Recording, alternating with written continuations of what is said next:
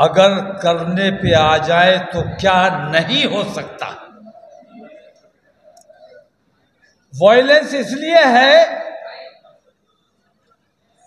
क्योंकि वोटों की राजनीति हो रही है। आज मैं कहता हूँ कि 2024 की सबको फ़िक्र है। लेकिन 2024 में करना क्या है, ये फ़िक्र किसी को नहीं है।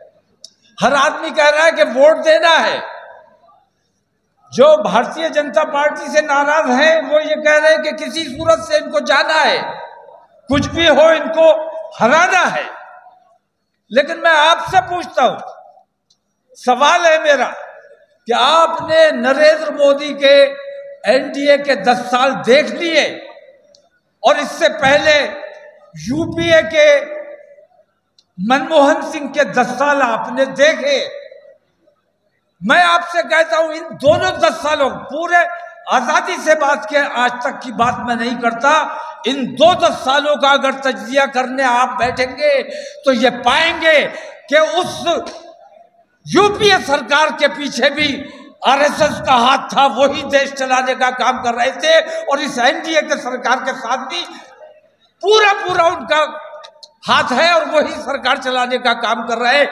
हमें आरएसएस, विश्व हिंदू परिषद और बजरंग दल का इलाज तलाश करना है, यही मसले का सबसे बड़ा हल है। हमें बहुत बड़ी ताकत है हमारी, लेकिन हमें बांटा गया है। तुम मुसलमान हो, तुम दलित हो तुम पिछड़े हो।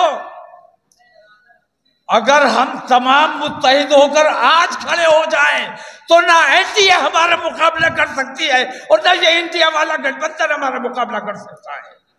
अगर करना है, अपने देश का काम करना है, अपने देश के लिए मरने का जज्बा रखते हो तो आज उठकर खड़े हो जाओ। दलित और मुस्लिम तमाम को मुतहिद करो।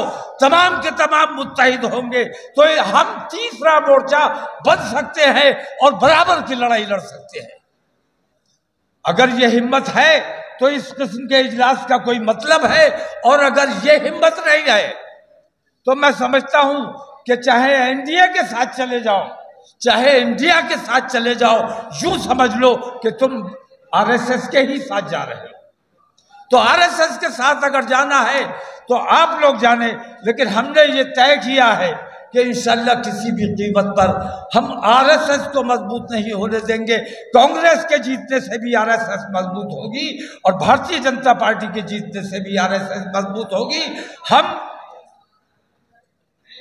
दलित है, ओबीसी हैं, माइनॉरिटीज हैं, ये तमाम लोग अगर मिलकर मुत्तहिद होकर खड़े हो जाएँगे, देश प्रेम की भावना से अगर खड़े हो जाएँगे तो मैं नहीं समझता हूँ। आप अगर लड़ने की हिम्मत रही है, मैं तो इतनी हिम्मत रखता हूँ कि अल्हम्दुलिल्लाह अगर तमाम लोग मुत्तहिद होने का वादा करें ईमानदारी का वादा करे तो इंशाल्लाह तीसरा मोर्चा बनाया जा सकता है। लेकिन अगर तीसरा मोर्चा नहीं भी बनाया जा सकता तो इतना ज़रूर किया जा सकता है कि हम अपना एक मुतहदा महाज बनाए और कम से कम अपनी शर्तों में ये रखे कि अब हमने तुम्हारा झंडा नहीं उठाना है। हमें कम से कम पचास टिकट चाहिए। हम खुद जाके अपना काम, मिल्लत को दलितों को अपना काम खुद करने की ताकत और सलाहियत अपने अंदर पैदा करनी चाहिए। मोहताजी का तो उतार दो। और आज तो हमें कांग्रेस ने मोहताज समझा हुआ है कि जाएँगे कहा? हमें ये बताना है कि हम मोहताज नहीं आए हम मोहताज नहीं आए हम इस बार 2024 हिंदुस्तान के लिए बहुत अहम है। इसको गैर ज़िम्मेदारी से अगर नज़रअंदाज कर दिया, इसकी अहमियत को नज़रअंदाज कर दिया, हिंदुस्तान के मुसलमानों का भी मुस्तबिल तय होना है इस 2024 में। और हिंदुस्तान किस राह पर जाना है? हिंदुस्तान कैसा हिंदुस्तान बनना है? ये भी 2024 ने तय करना है। इसलिए मेरे भाइयों किसी बहकावे में आने की ज़रूरत नहीं है, किसी का झंडा उठाने की ज़रूरत नहीं है। एक बार देश प्रेम की भावना से हमें अपना देश पाँच साल के लिए किसी को देना है, ठेके पर देना है, हमें उनसे बात करनी चाहिए। अपना टेंडर दो, पाँच साल का एजेंडा बताओ रूट मैप बताओ, कैसे चलाओगे पाँच साल? क्या बजरंग ये बजरंग दल के गुंडे विश्व परिषद के गुंडे इसी तरह दहशत गर्दी फैलाते रहेंगे। एक हज़ार सवाल हमारे पास कांग्रेस से भी है, एक हज़ार सवाल हमारे पास बीजेपी से भी है, लेकिन अब मैं ये समझता हूँ कि सवाल करने का वक्त नहीं रहा। हमने उनको भी आजमाया है, हमने इनको भी आजमाया है। अब वक्त है हमें अपने आप को आजमाने का। अपनी ताकत का मुजाहरा करने का। इसलिए मैं कहता हूँ एस सी ओबीसी माइनॉरिटीज तमाम लोग मुतहिद होकर खड़े हो जाओ। इंशाल्लाह इतनी बड़ी ताकत बनोगे कि भारतीय जनता पार्टी और कांग्रेस तुम्हारा मुकाबला नहीं कर सकते।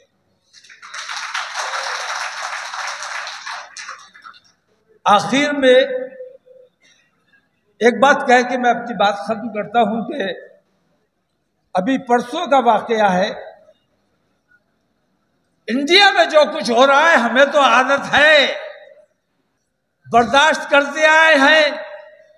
खुद बम मारते थे, कहते थे, मुसलमानों ने मार दिया और कांग्रेस वाले हमें गिरफ़्तार करते थे। हमारे बच्चों पर आतंकवाद का इल्ज़ाम लगाया जाता था, हमारे बच्चों का झूठा इनकाउंटर किया जाता था। ये सारी तकलीफें हमने देखी हैं, झेली हैं, बर्दाश्त की है और बर्दाश्त करते रहे हैं। लेकिन पाकिस्तान में जो कुछ हुआ दो रोज पहले, ये बर्दाश्त नहीं किया जाएगा। पाकिस्तान को हम चेता देना चाहते हैं कि अपने मुल्क की माइनॉरिटीज के साथ इंसाफ करो, उनके ऊपर जुल्म नहीं होना चाहिए। अगर उन पर जुल्म किया जाएगा तो तुम्हारा घेराव किया जाएगा, तुम्हारा बाइकाट किया जाएगा। हिंदुस्तान से तुम्हारी एमएसपी खत्म कराई जाएगी। ईसाइयों के साथ बहुत बड़ा जुल्म किया, बाइबल को जलाया गया। मैं ये कहता हूँ कि कुरान की बेहरमती अगर स्वीडन में की गई है तो पाकिस्तान में बाइबल को जलाने से क्या उसका इजाला हो जाएगा? क्या कुरान की अजमत बढ़ जाएगी? कुरान की जो अजमत है, वो अपनी जगह है। और मुसलमान हमारे यहाँ इस्लाम में बदला लेने का कोई तरीका नहीं है। हमें बदला नहीं लेना चाहिए। और हमें तमाम किताबों का एहतराम करना चाहिए। बाइबल भी हमारी किताब है, ईसा सलाम भी हमारे नबी हैं। हम सबका एहतराम करते हैं, सबकी इज़्ज़त करते हैं। तमाम धर्मों को हम एहतराम देना चाहते हैं और हम चाहते हैं कि हमारे मज़हब में किसी किस्म की मदाखलत ना की जाए। हिंदुस्तान जिंदाबाद।